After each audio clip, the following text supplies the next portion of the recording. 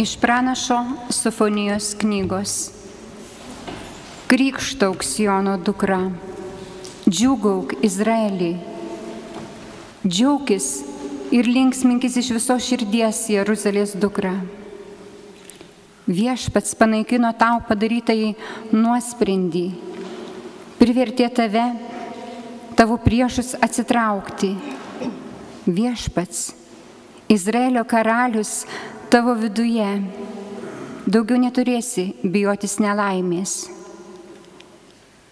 Ta diena sakys Jeruzaliai, nebijok Sionė, nenuleisk rankų, su tavim yra viešpats tavo Dievas galingasis, tave jis išgelbės. Jam linksma, smagu dėl tavęs Jis atnaujina tau savo meilę, jis džiaugiasi tavimi ir krikštauja.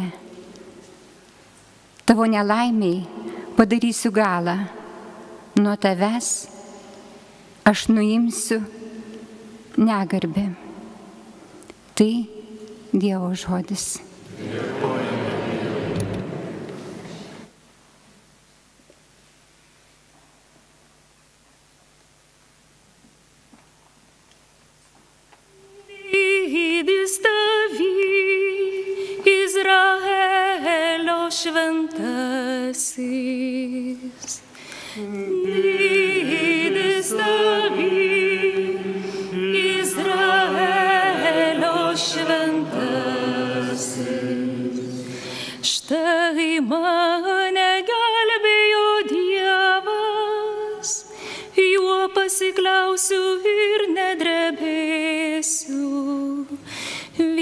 Viešpats mano jėga ir stiprybė, jis mane išgelbėjo.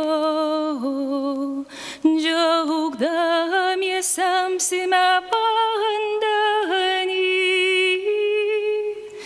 išversimiu išganingų.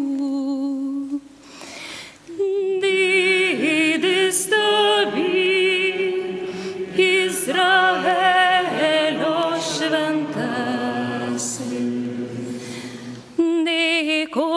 Dėkokite viešpačiui, šaukitės jo vardu.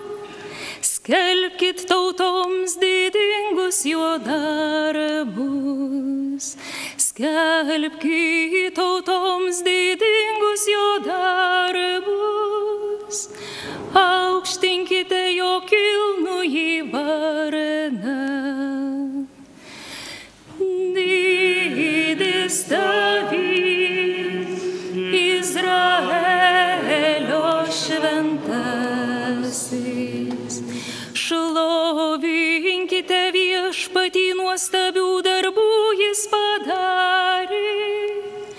Tegul visa žemė tai žino.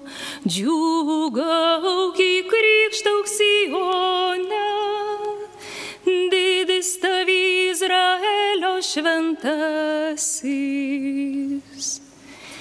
Didis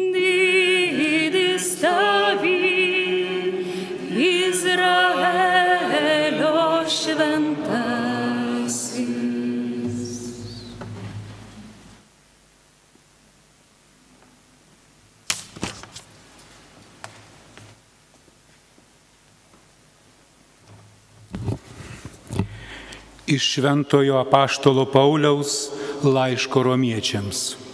Broliai, meilė te būna be veidmainystės.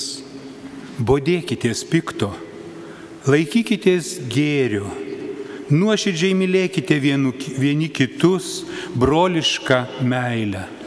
Lenktyniaukite tarpusavio pagarbą, nebūkite apsileidę, bet uolus, karštos dvasios, tarnaukite viešpačiui. Džiaukitės viltimi, būkite kantrus suspaudime, ištvermingi maldoje. Rūpinkite šventųjų reikalais, puoselėkite svetingumą. Laiminkite savo persekiotojus, laiminkite ir nekeikite. Džiaukitės su besidžiaugiančiais, verkite su verkiančiais, sutarkite tarpusavyje.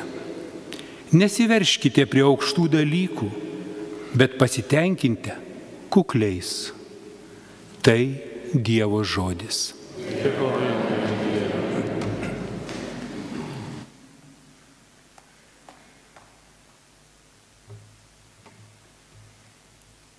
Alleluja, alleluja,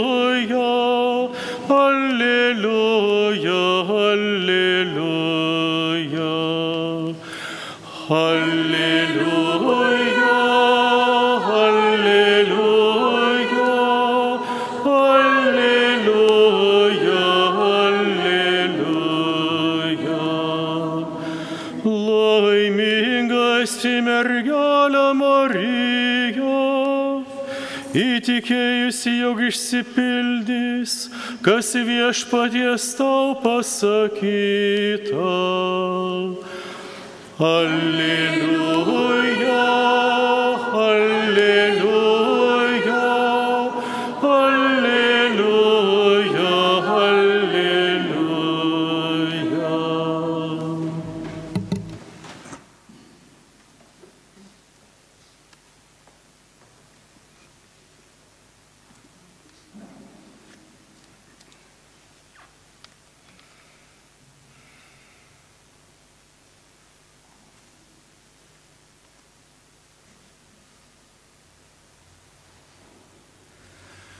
Viešpat su jumis.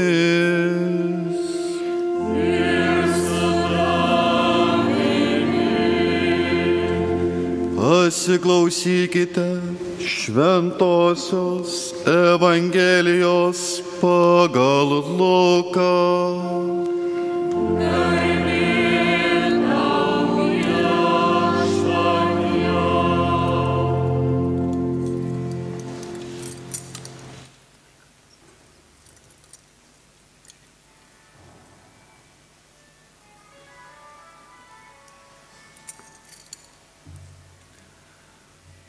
Anomis dienomis Marija susiruošusi skubiai iškeliavo į Judėjos kalnyno miestą. Ji nuėjo į Zakarijo namus ir pasveikino Elsbietą. Vos tik Elsbieta išgirdo Marijos sveikinimą, jos iščiose šoktelėjo kūdikis o pati Elsbieta pasidarė kupina šventosios dvasios. Ji balsiai sušuko.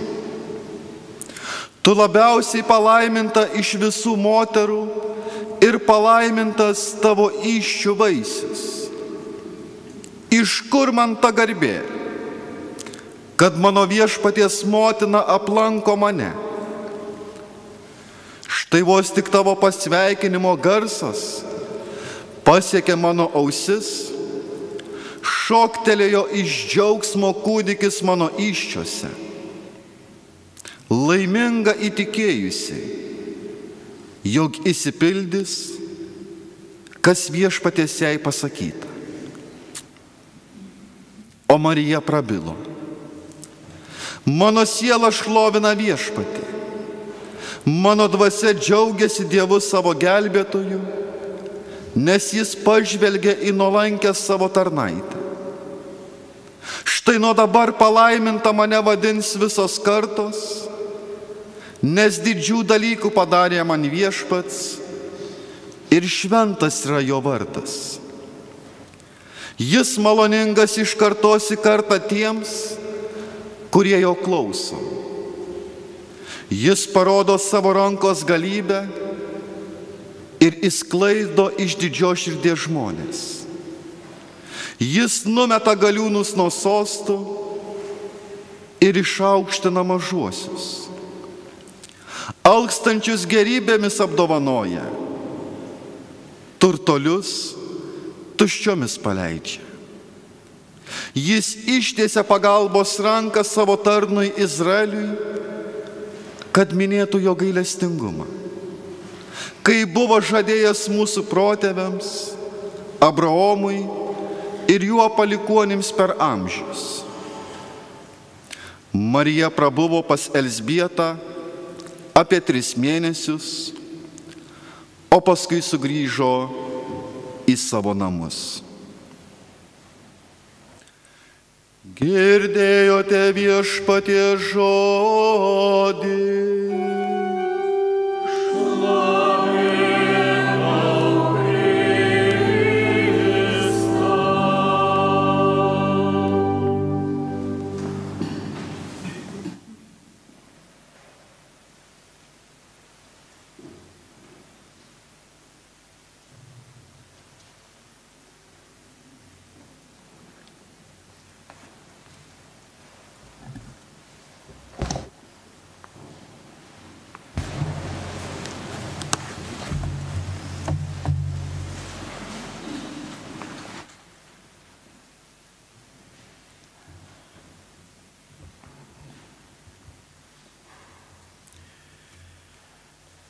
Mano siela šlovina viešpatį,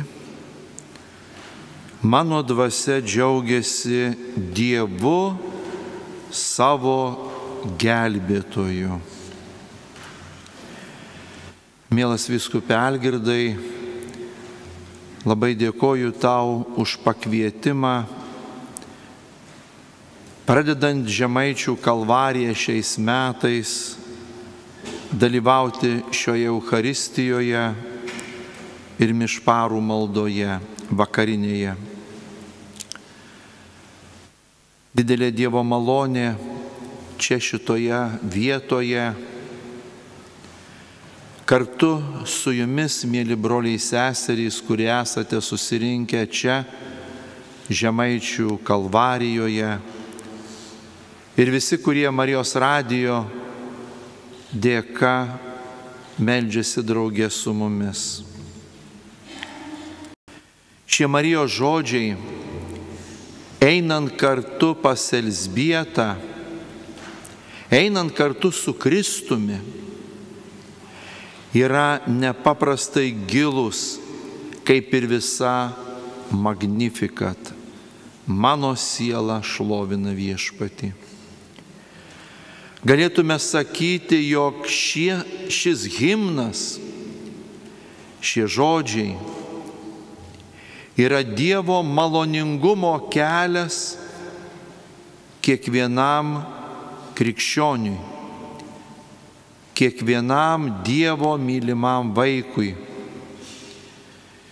Kaip ir visas Dievo žodis, visas šventasis raštas, taip ir šitie žodžiai Jie siekia prasismelkti į mūsų žmogišką išganimo gelmę, kad mes nesustotume prie eilės svarbių dalykų, bet kad visuomet prieš mūsų akis liktų ir išliktų tai, kas svarbiausia prieš mūsų akis yra ir visuomet, ypač čia, yra Kristus. Vienintelis žmogaus gelbėtojas ir viešpats. Ir Kristus ateina kartu būti su mumis, parinkdamas vietą ir laiką, sukviesdamas mus kartu susitikti į šitą nuostabę šventovę, į šitą nuostabę visos žemaitijos šventą vietą. Kai vyskupas, dabar arkivyskupas Kestutis, atsisveikindamas su jumis, sakė, jog žemaičių kalvaryje yra vartai į Žemaitiją. Tai iš tikrųjų išskirtinė vieta, kuri leidžia labai regimai, labai apčiuopiamai prisiliesti prie Kristaus. Evangelijoje Ne vieną kartą, daugelį kartų skaitydami mes matome viešpati Jėzų, kuris kartu savo mokiniams leido girdėti daugelį svarbių žodžių, būti liudininkais daugelio svarbių įvykių. Pradedant savo misiją, Jėzus kvietė, atsiverskite ir tikėkite Evangeliją. Ir tai turbūt sakė daugelį kartų, ne vieną kartą. Ta pati Dievo žodis sako visada ne tik pradedant gavėnios metą. Dievo žodis mūsų žvilgsnį kreipia į begalinę Dievo meilę. Nenuostabu, kad apaštalas Petras, kada Jėzus kalbėjo, jo keliauja Jėzus į Jeruzalę. Ir jam reikės numirti ant kryžiaus labai žmogiškai. Ir mums tikrai suprantamai pasivedėjo Jėzų į šalį, galbūt nenorėdamas prie kitų apaštalų parodyti savo supratimo gilaus ar priešingai nesupratimo. Pasivedė Jėzų į šalį ir sakė, viešpatė, jokių būdų taip negali tau atsitikti. Mes gerai žinome Jėzaus žodžius, kada Jėzus sakė, jei kas nori eiti paskui mane, teisi žada pats savęs, te pasiima savo kryžių ir teseka manimi. Šitie brangieji žodžiai tokie gilūs ir tiek įvairių teologinių įžvalgų, kad aš norėčiau sustoti prie vienos ir ją kartu susijęti su ta, kur Jėzus pakvietė lygiai taip pat ir mus nešti savo ir Jėzaus kryžių. Kada kartais sakoma, na žmogus neša savo gyvenimo kryžių. Ir mes dažnai galvojame ir pirmiausiai minti ateina mūsų nešamas vargų kryžius, kurį turime kiekvienas. Bet giliausia prasme, pirmiausia, Jėzus ne tai turi minti. Ir ne tam Jėzus mus kviečia. Tai vėl dėmesio centre mūsų kaip krikščionių siekiant brandaus tikėjimo ir ištikimybės Kristui. Turi visuomet būti gelmė Jėzaus žodžių.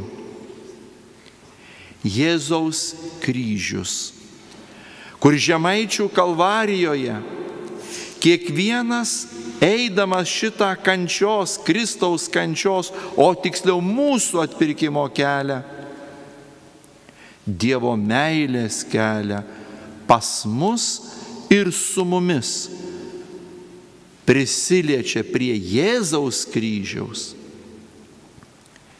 Jėzaus kryžius, ant kurio jis mirė, tiesa mums žmonių akims matomas kaip kančios kryžius pirmiausia yra begalinės Dievo meilės žmogui medis. Jo kryžiaus gelmė yra meilės žymė. Meilę ženklinantis kryžius. Pirmiausiai čia yra visa esmė iš meilės kiekvienam iš mūsų. Kančia Kristaus negali nustelbti, dėl ko Kristus kentėjo ir mirė dėl mūsų. Jeigu skaitome vėl daugelį Jėzaus vietų, kur Jėzus kalba pabrėždamas, kaip svarbu būti mums su Kristumi. Viskas yra trapu ir laikina. Viskas trapu. Viskas praeina. Bet mūsų paduota ranka, kur ne vieną kartą pamokslė suminėjęs vieną žemaitišką seną kantičką, kurią jūs, brangieji, žinot, net jeigu visko nustočiau, aš tave Jėzau sekiočiau. Tai labai gili teologija. Ir norint regimai paliesti Kristų arba pakvėpuoti Kristumi, brangiai atvažiuokite čia, į Žemaičių kalvariją. Tai ne tik kryžiaus kelio koplyčios, ne tik giesmės, ne tik žmonės, kurie eina su giliu tikėjimu. Už to yra šimtmečių čia gyvenusių žmonių tikėjimas. Ir tą tikėjimą būtina mums kvepuoti, kad negyventume be religinėje aplinkoje, aplinkoje be Dievo. Kartai žmonių patirtis sako, kambaryje sėdi žmonės bendra kažkokia įtampa tarp žmonių. Žmogus jaučia nuotaiką. Žmogus jaučia įtampą. Tai šičia jūs pajausite Kristų. Kiek žemaityje yra įsaugojusi lobių, kurie yra brangus turtas. Kur kartais, kai turtą kokį žmonės turi, atrodo, kad tai labai savitas, kad tai tiesiog natūralu, taip turi būti. Mažiausiose kaimiškose parapijose žmonių tikėjimas, kuris turi sklisti ir šviesti, kuris yra bendras mūsų visos Lietuvos turtas. Kristų pažinti galima ne tik iš teologijos. Šito pažinimo reikia melstis su paštalu Pauliumi ir skaityti paštalo Pauliaus kristologiją, kur Paulius sako, aš viską laikau sąšlavomis. Originale būtų dar griežčiau ir šlikščiau. Lyginant su Kristaus viešpaties, mano viešpaties pažinimo didybė su Kristumi, kuris yra gelbėtojas ir išganytojas. Ir kada Jėzus sako, jei kas nori eiti paskui mane, tai įsižada pats savęs. Įsižadėti arba tiesiog su, pamatyti, kokia vertybė Dievo meilė ir su jie mums tenkantis amžinasis gyvenimas netrupiniai, nedaugiau ar mažiau dešimtmečių, bet amžinasis gyvenimas, kuris nepalyginamas su nieko. Dalyvavimas paties Dievo gyvenime. Visa tai, ką Dievas davė mums šiam gyvenimui, turi at, padėti atmerkti akis kokia begalinė Dievo meilė, kokie jo lobiai skirti mūsų gyvenimui, kuris keliauja į amžinybę. Į dangų kelias yra čia.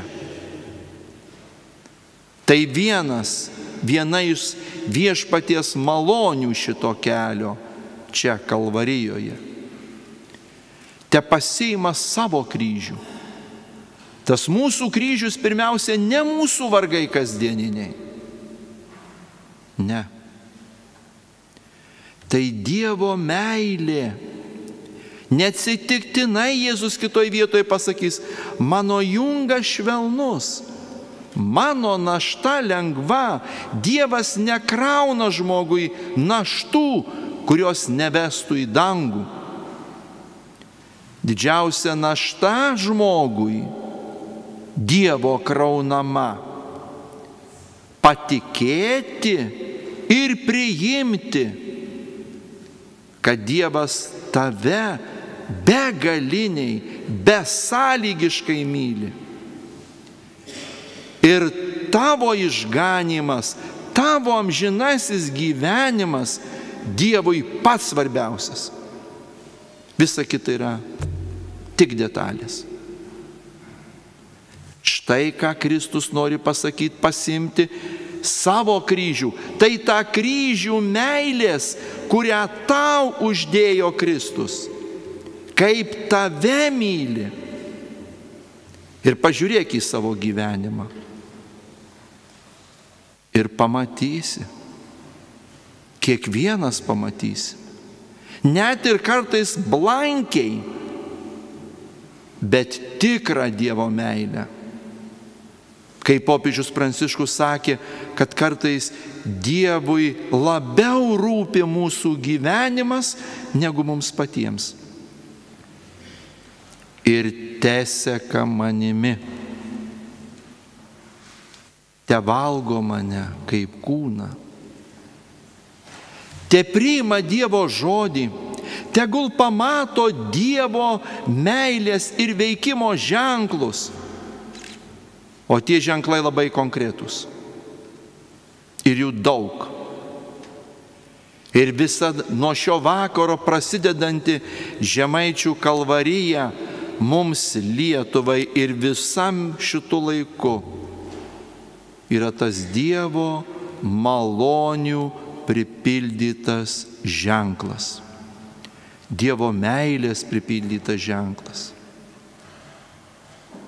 Priimkime, brangiai visi, kurie atvykstate ar atvyksite į šitą šventą mūsų protėvių tikėjimo vietą ir siekite vieną pamatyti, vieną išvysti Kristus visko pridės. Jėzus sakė mokiniams, jūs ieškokite pirmiausiai Dievo karalystės. O visa kita, kas rūpi, viešpats pridės. Jis nėra bejingas žmogaus, bet kurio kančiai. Praeitą sekmadienį girdėjome, kai Jėzus sakė, jeigu kas nors bent taurę šalto vandens paduos šitam vienam iš žmogelių dėl mano vardo, kad jis yra mano mokinys, nepraras užmokesčių.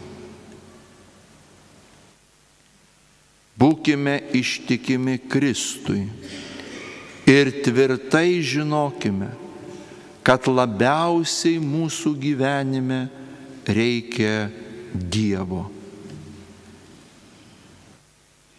Su Dievu turime viską ir tik su juo.